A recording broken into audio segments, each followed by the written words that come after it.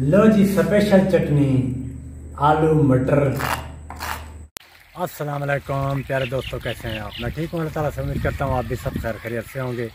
मैं हमेशा आप सबके लिए वीडियो के शुरू में यही दुआ करता हूँ जहाँ रहें खुश रहें, आबाद रहें, और कोई दुख दर्द आप तक ना पहुँचे, अल्लाह ताला आप सबको अपनी हद सम्मान में रखे। तो कैसे हैं आप? झरना चल रहा है पानी का, और साथ में मकई का खेत लहलाता हुआ, तकरीबन 12 बजे का टाइम है और ख़ूबसूरत धूप निकली हुई है हर तरफ़। तो मेरे चैनल को सब्सक्राइब लाजमी कर लिया करें, लाइक भी किया करें और वीडियो ज़्यादा से ज़्यादा शेयर किया करें।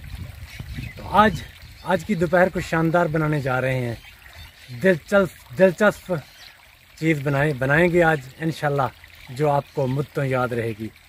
तो बहुत से आइटम हैं आज, बेगम साहबा और साकिब और जुहेब जो है ना, आज एतवार है, घर पर हैं।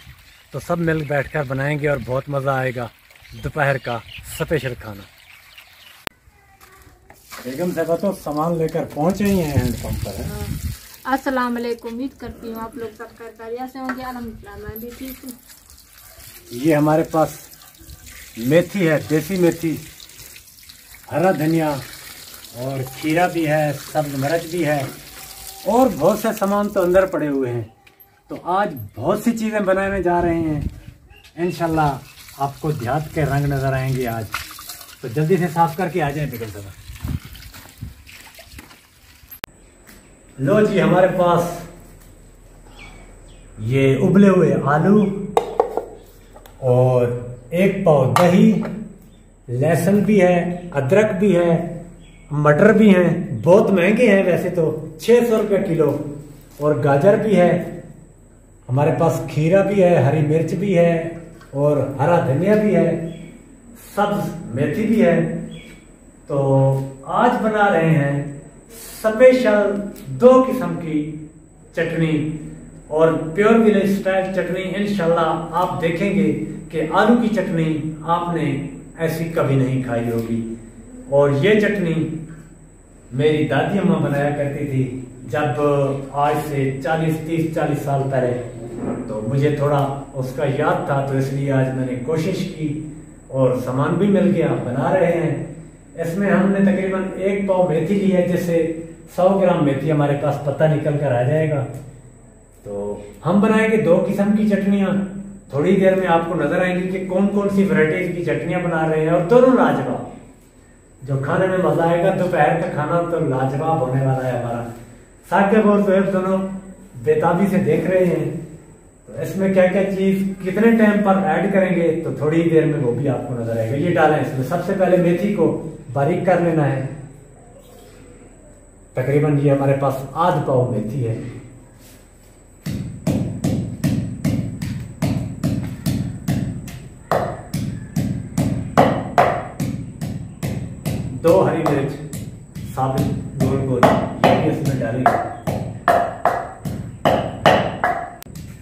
ये जब तक थोड़ा ब्रेक हो जाए ये दो हरी मिर्च इसमें डाल देंगे। तो आप हाँ। ये आपके पास उबले हुए आलू एक पाव तकरीबन मैं इसमें थोड़े से मटर निकालूँगा। जितने भी हम डालेंगे कुछ दाने डालेंगे जैके के लिए। तुम भी हेल्प करो साकिब जो है आगे आ जाओ।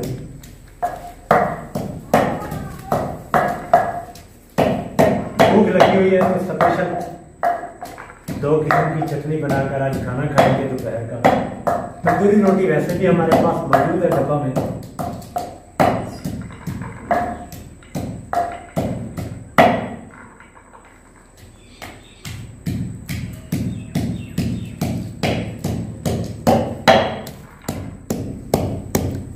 नीचे नहीं डालना, बहुत महँगा है, छह सौ रुपये किलो है ताकि इसका एक दाना दस रुपए का है।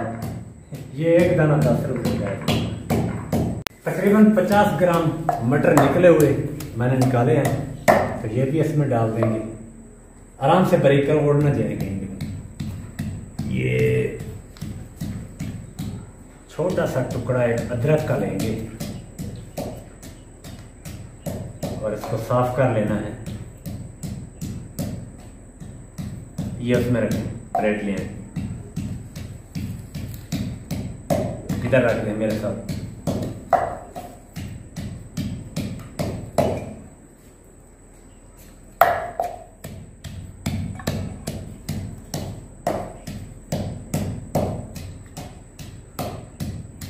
इसको भी इतना सा है। छोटे छोटे टुकड़े करके डाल देना।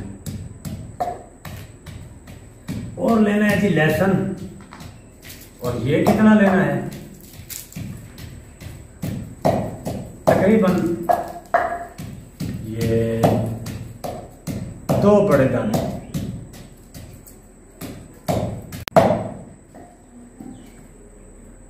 अच्छा ये जो लहसुन है। लहसुन के दो दाने छील लेने हैं। वाइट कलर के। और इनको भी बारीक टुकड़े करके डाल देना है। ये बहुत पावरफुल चीज़ है। इंसानी ज़िंदगी के लिए लहसुन जो है, कुदरत का अनमोल हथिया है। इसे हर गिजा में इस्तेमाल करना चाहिए।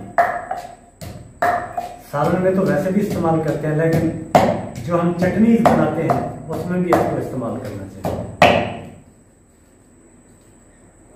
ये दो दाने हमने डाल दिए। और इसमें खुशबू के लिए तकरीबन थोड़ा सा हरा धनिया डाल देंगे। साकिब, एक प्लेट ले आओ।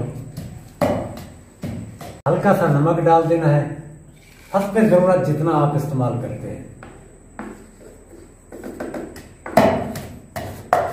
हमारे पास तो बड़ा डब्बा है जितना भी खाएँ खा सकते हैं। क्यों बेगम साहब? तो ये लहसुन और अदरक और ये लहसुन जो इधर डाल दें ये छिलके है ये लहसुन है। इसमें जो लहसुन है है बस ये छिलके। तो आलू भी डाल देंगे हाँ। ये डाल दें। उबले हुए। और ये तीन चीज़ें अब जो है इसका बनाएँगे सलाद एक गाजर दो खीरा। तो ऐसे समझ लें कि मज़ेदार। प्याज मिले। हाँ? प्याज। प्याज क्या? प्याज। प्याज तो जहन में नहीं आया। जब हम दुकान से वापस आए तो रास्ते में याद आया कि प्याज तो हम भूल गए। लो जी स्पेशल चटनी। आलू, मटर वाली स्पेशल चटनी, उबले हुए आलू वाली। थोड़ी देर में आपको टेस्ट करके बताते हैं। दूसरी चटनी भी बनने वाली है थोड़ी ही देर में, क्योंकि हमारे पास हरी मिर्च, धनिया और दही भी मौजूद है। बस इसमें बना दें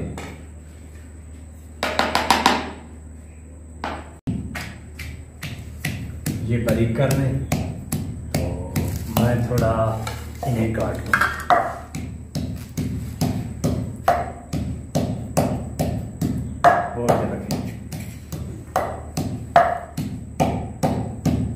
अच्छा गोल गोल काट में बेगम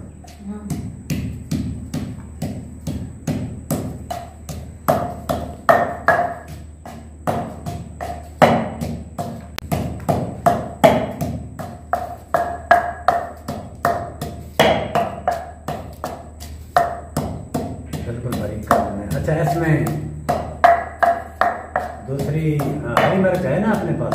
हाँ। तो लाल मिर्च नहीं डालनी है।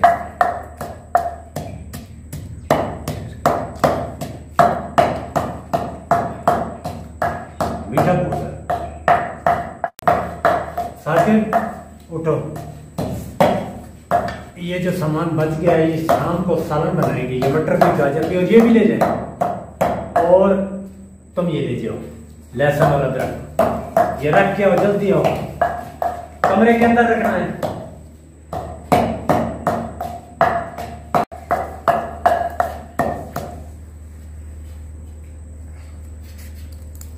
बस काफ़ी है। इसको साफ़ कर लो।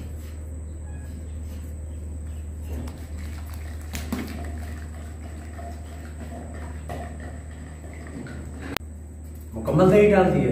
हाँ। अच्छा किया है सब लोग खाएँगे ना सबके ये देखिए।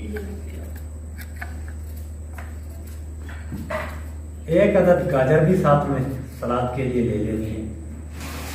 क्योंकि अब तो गाजर का टाइम है, और ये भी सेहत के लिए बहुत ही आला चीज़ है। जो आदमी सेब नहीं खा सकता, वो गाजर खा ले। एक ही बात है, ये भी कुदरत का अनमोल हथिया है।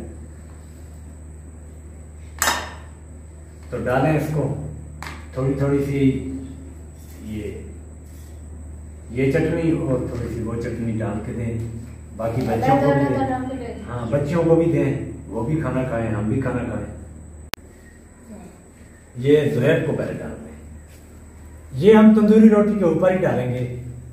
जो आलू और मटर वाली चटनी है। काफ़ी है। और ये दही वाली चटनी और हरे धनिया वाली चटनी साथ में है। ये सलाद आपके सामने पड़ा हुआ है जितना मर्ज़ी आप गाजर भी ले सकते हैं खीरा भी ले सकते हैं। और हमें डाल दें बाकी जो है, वो अपनी सिस्टर को जाके दे के आए सब। बस काफ़ी है। ये। बिस्मिल्लाह करके खाओ। बेगम साहब आप भी खाए बिस्मिल्लाह।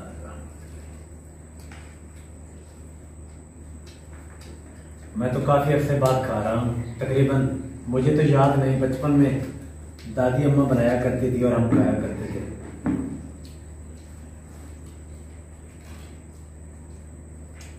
बिल्कुल वही रहेगा और वही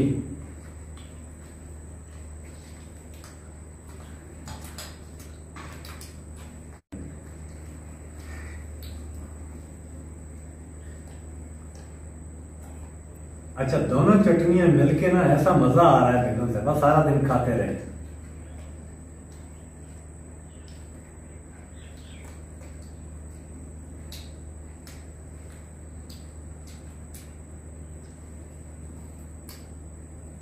क्या बात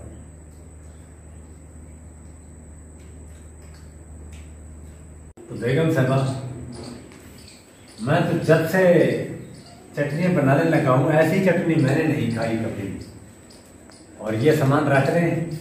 बहुत मज़ा आया आज की दोपहर तो ऐसे समझ में कि रंगीन हो गई। बच्चों ने भी शौक से खाई सबने पूरी फैमिली ने। मज़े उड़ाया आज ऐसे समझ ले दो किस्म की चटनी थी हमारे पास, सब धने वाली और आलू और मटर वाली। आलू भुना हुआ। तकरीबन अगर आपने बनानी है तो दो तीन अदद दरमियाने साइज़ के आलू भुने हुए आपने ले लेने हैं और एक पाव मटर। इनको मिक्स करके इसमें अपनी मर्ज़ी की चीज़ आगे ऐड कर लें। अगर ना भी करें, तब भी ठीक है। नमक हो, मिर्च हो, धनिया हो तो इसमें बाद लोग दही भी डालते हैं, लेकिन हम नहीं डालते। तो सूरज भी सर पर पहुँच चुका है, बहुत खूबसूरत धूप निकली हुई है। और ये मौसमी भी चमक रहे हैं, ये देखिए। आहिस्ता ऐसा इनका कलर भी चेंज होता जा रहा है, मिठास बहुत ज़्यादा इनमें हो चुकी है। इसलिए अब ये नीचे सफ़ाई हो गई है। नीचे आपको कोई भी नज़र नहीं आएगा, बच्चों ने। सब उखाड़ लिए हैं। बस जहाँ उनका हाथ नहीं पहुँचता ऊपर तो वही बचे हुए हैं। तो मैंने कल एक दाना लिया था, बहुत मीठा था। अब इसका रस पूरा बन चुका है। तो इन आज की दोपहर और आज की वीडियो आपको भी बहुत पसंद आई होगी कि हमने दो किस्म की चटनीज़ बनाई। बहुत मज़ा आया। Green green, pure village life, village style और अल्लाह ताला के जो भी ये नियमते हैं, चाहे वो फ्रूट की शक्ल में हो, चाहे सब्ज़ी की शक्ल में हो तो हमारे लिए अनमोल अतिया है। हमें इस्तेमाल करनी चाहिए चाहिए और ये हमारी सेहत के लिए भी बहुत अच्छी है ये चीज़ें। तो आजकल दुनिया में पता नहीं क्या मुर्गान गज़ाओं के पीछे पड़ गई है तो सेहत का भी तबाही हो रही है इंसानी जिसम की। मैं आप सबके लिए दुआ गो हूँ, जहाँ रहें, खुश रहें, आबाद रहें और कोई दुख दर्द आप तक ना पहुँचे। अल्लाह ताला आप सबको अपनी सामान में रखे, आप में से जो भी बीमार हैं, अल्लाह ताला उन्हें सेहत और तंदुरुस्ती अता फरमाए और जो बेऔलाद अफराद हैं, अल्लाह ताला ने एक सेहतमंद औलाद दे। आपके रिश्तेदार, आपके दोस्त, अहबाब, आपके हमसाया, सबको अल्लाह ताला अपने सामान में रखे, जो प्रदेश में मेरे बहन भाई हैं अगर किसी भी दुख तकलीफ़ में है तो अल्लाह ताला उनके दुख तकलीफ़ दूर करे। और मजदूर भाई, पूरी दुनिया में अल्लाह ताला उन्हें भी अपनी सामान में रखे। तो मिलते हैं इंशाल्लाह कल एक नई वीडियो के साथ दोबारा। उस वक्त तक आपसे इजाज़त चाहूँगा। अल्लाह हाफिज़।